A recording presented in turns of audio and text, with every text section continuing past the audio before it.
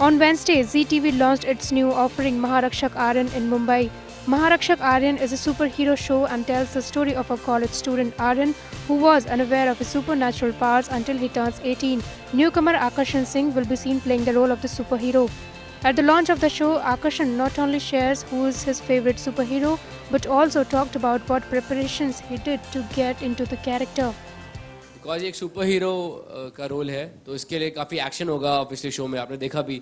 तो हार्नेस पे टंगे रहना पड़ता है, और इवेंट फॉर मैंने हम मार्शल आर्ट सीखा, और कुछ थोड़ा कुछ बेसिक पाको स्टाइल का कुछ बेसिक सीखा। जंप करके नहीं पाको इस काइंडली मतलब जंप करके निकल जाना इधर उधर से, वो सब सीखा।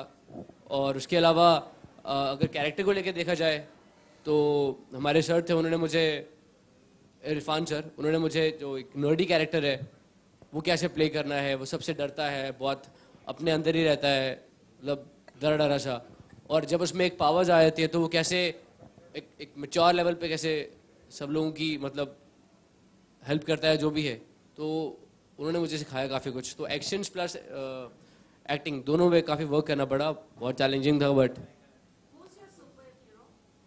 my super hero my dad और वैसे अगर मूवीज़ में देखा जाए तो when I was small I like Shaktimaan obviously हम छोटे थे तो सीधा स्कूल के बाद आई वॉज़ इन के जी सीधा स्कूल के बाद यूज़ टू वॉच शक्तिमान और अभी Spiderman The 13 week long television superhero series will showcase a new villain in each episode, and Aryan will fight with the evils to protect her money. Maharakshak Aryan also stars Khalid Siddiqui in a positive role, while Rashmi Ghosh and Mishal Raheja will essay the villains. The show is set to go on air November 1st at 7 pm.